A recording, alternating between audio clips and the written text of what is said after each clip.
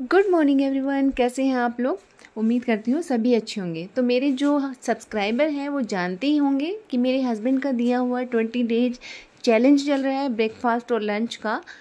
और आज है उसका डे फोर और कोई भी अगर मेरे इस चैनल पे नया है तो मेरी इस जर्नी में इन्वॉल्व होने के लिए सब्सक्राइब करना ना भूलें। तो जैसा कि आप लोगों को पता ही है कि श्राद्ध का टाइम चल रहा है और आज हमारे घर में भी पिताजी का श्राद्ध है। तो मैंने पहले श्राद्ध के लिए खाना बना रही हूँ। उसमें मैंने हलवा और ये रोटियाँ बनाई हैं। उसके बाद अपने पतिदेव के लिए मैं आज का जो भी ब्रेकफास्ट और लंच है, वो बनाऊँगी। तो चलिए देखते हैं आज क्या बनता है। खाना कुछ ऐसा बनाना है कि हल्का फुल्का भी हो हेल्दी भी हो और टेस्टी भी हो। तो सबसे पहले एक बाउल में ले लिया है हमने सूजी। एक कप सूजी ली है, दो बड़े चम्मच भर के उसमें दही डाला है, पानी डाल के इसका बैटर तैयार कर लेंगे। इसको अच्छे से फेंट लेंगे हम। जितना अच्छा फेंटेंगे, उतना अच्छा रहेगा। इसकी जो कंसिस्टेंसी है, वो डोसे के बैटर जैसी होनी चाहिए। और अब इसे हम रेस्ट करने देंगे। तब तक ले लेते हैं हम एक पपाया और इस पपीते को अच्छे से छील के छोटे छोटे पीसेस में कट कर लेंगे। आपका जो ये पपीता है, वो कच्चा नहीं होना चाहिए, पका हुआ हो और उसमें मिठास होनी चाहिए। अब इसमें हम अपने टेस्ट के अकॉर्डिंग मीठा डाल देंगे और उसे ब्लेंड कर लेंगे दूध डाल के। ये हमारा शेक बन के तैयार हो गया है। हमारी जो सूजी थी, उसमें हम स्वाद के अनुसार नमक डालेंगे। साथ में मैंने ये सब्ज़ियाँ काट ली हैं, शिमला मिर्च, टमाटर, प्याज, हरी मिर्च। बैटर हमारा पूरी तरह से तैयार हो चुका है। ये देखिए, इसकी कंसिस्टेंसी इस तरह से हो। और अब हम क्या करेंगे? पैन के ऊपर छोटे छोटे से हम इस तरह से उत्पम तैयार कर लेंगे। इस बार मैं बड़ा उत्पम नहीं बना रही, मिनी उत्पम बना रही हूँ। बनने में ज़्यादा टाइम नहीं लेते और इसको इस फ्लिप करने में भी हमें मतलब दिक्कत नहीं होती। बड़ा उत्पम कई बार बनाते हैं तो उसे टूटने का डर रहता है, लेकिन इसे आप आसानी से बना सकते हैं। जो फ़र्स्ट टाइम बना रहे ना, उनके लिए भी कोई दिक्कत नहीं आएगी।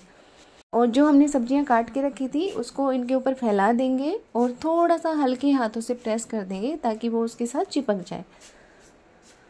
ये देखिए, बच्चों को भी बहुत ज़्यादा पसंद आने वाले हैं, क्योंकि बच्चों को खासकर जो कलरफुल होती है, जो अट्रैक्टिव चीज़ें होती हैं ना, वो ज़्यादा अच्छी लगती हैं।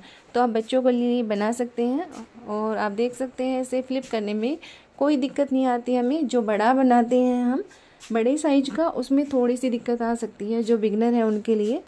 और कुछ ही मिनट्स में हमारा ये हेल्दी टेस्टी सा, चटपटा सा जो ब्रेकफास्ट है या इवनिंग स्नैक्स हो, वो तैयार हो जाता है। हमारा पपाया शेक भी रेडी है। और लगा लिया है हमने प्लेट ब्रेकफास्ट तैयार हो गया है और पतिदेव भी स्कूल जाने के लिए तैयार है। तो चलिए उनको करवा देते हैं हम ब्रेकफास्ट आजकल ये बहुत ही खुश हैं कि इनको इतने अच्छे ढंग से एक स्पेशल ट्रीट दी जा रही है। तो खुश हो के स्कूल जाते हैं और लौटते टाइम भी खुश रहते हैं, ये सोच के कि दोपहर को लंच में क्या मिलने वाला है। तो इसी बात से आप अंदाज़ा लगा सकते हैं ना कि जो हमारी खुशियों का ठिकाना है, वो हमारे पेट से होके जाता है। टेस्टी खाओ हेल्दी खाओ और अपने माइंड को और मूड को हेल्दी रखो। तो सुबह का जो ब्रेकफास्ट था, वो तो इनको काफ़ी पसंद आया। अब हम आगे करेंगे अपनी लंच की तैयारी। तो लंच टाइम से पहले ही पतिदेव का फ़ोन आ गया कि भूख नहीं है, कुछ हल्का फुल्का खाना है।